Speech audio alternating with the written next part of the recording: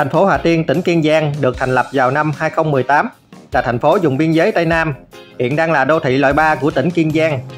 Đến ngày 5 tháng 8 năm 2020, Thủ tướng Chính phủ ban hành quyết định thành lập khu kinh tế cửa khẩu Hà Tiên, tỉnh Kiên Giang với diện tích 1.600 hecta gồm 5 phường Pháo Đài, Đông Hồ, Tô Châu, Bình Sang, Mỹ Đức.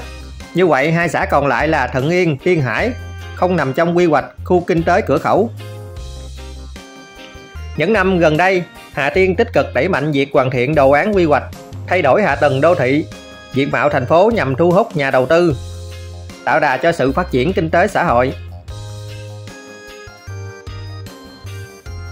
Hạ tầng giao thông thành phố Hà Tiên với vị trí nằm trong vùng tam giác kinh tế và du lịch Phú Quốc, Hà Tiên, Gạch Giá và vùng tứ giác Hà Tiên, Châu Đốc, Long Xuyên, Gạch Giá.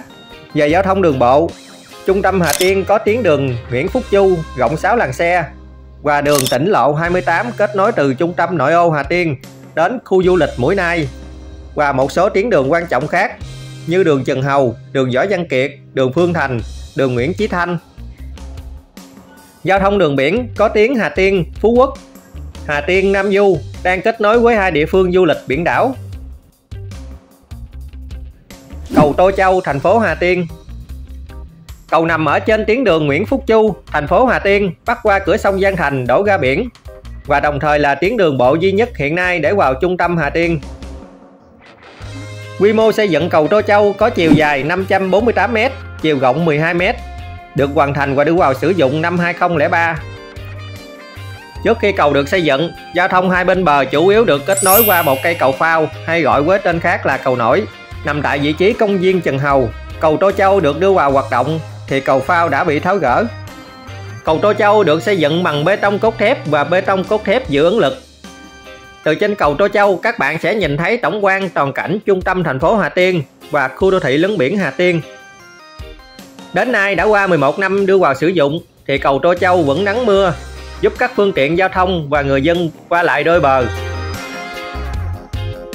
Chúng ta nhìn toàn cảnh thành phố Hà Tiên từ phường Pháo Đài thì cầu Tô Châu cách trung tâm Hà Tiên khoảng 500m, cách khu đô thị Hà Tiên và khu đô thị Nam Hà Tiên khoảng 3 phút di chuyển.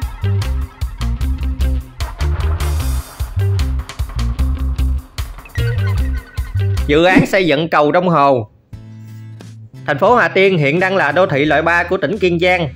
Theo báo cáo dự thảo quy hoạch của tỉnh Kiên Giang giai đoạn năm 2021 đến năm 2030 thì dự kiến đến năm 2025, thành phố Hà Tiên sẽ được nâng cấp lên đô thị loại 2. Và dự án xây dựng cầu Đông Hồ đã được Hội đồng Nhân dân tỉnh thống nhất vào năm 2021. Vì thế, việc đầu tư xây dựng cầu Đông Hồ sẽ tạo động lực phát triển về kinh tế, hạ tầng giao thông đô thị của thành phố Hà Tiên.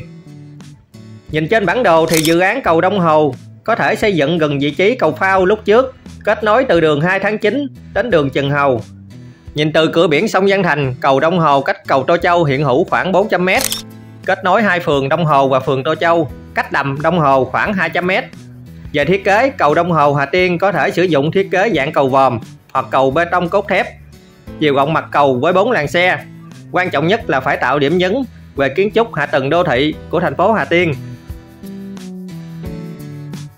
Hiện nay quốc lộ 80 là tuyến đường huyết mạch kết nối vào thành phố Hà Tiên đã hoàn thành nâng cấp mở rộng. Kinh tế xã hội, phương tiện giao thông ngày càng phát triển. Vì thế, dự án xây dựng cầu Đông Hồ, thành phố Hà Tiên sẽ sớm được triển khai xây dựng, chi bớt lưu lượng phương tiện giao thông đi trên cầu Tô Châu, tạo diện mạo mới phát triển kinh tế của thành phố biển Hà Tiên.